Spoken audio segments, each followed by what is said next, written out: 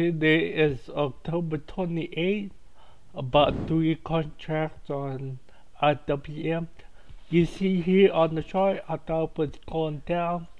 So my strike price is 221 and I bought I think I said it for fifty dollars and I bought two contracts right here I buy but this is what happened so made my mistake. Make sure you're not on your margin account and we both select your cash account.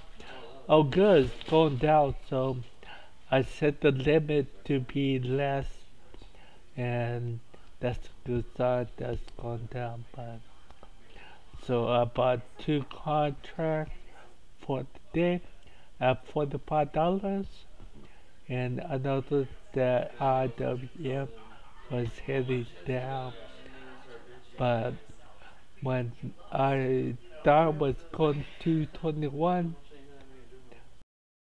it's kind of jumped back up.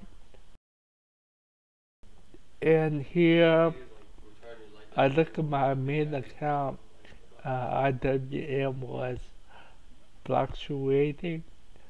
So I went back to IWM and it was a lot higher so what I did was bought another contract to average down. I thought it'd be 35 is a good limit. About one more contract to average down.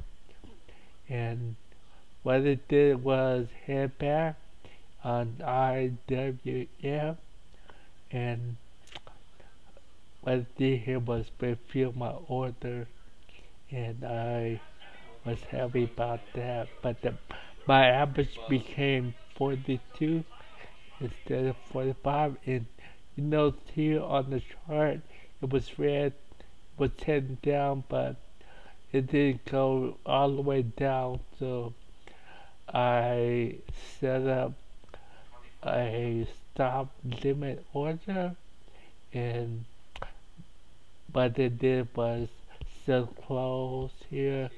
Instead of limit I choose stop order. And um, I, I set it for 21 which is half what I invested. And I put up the three contracts. And eventually in Webull it hit my stop order and I check it here I lost on my investment. So that's it. Check out the next video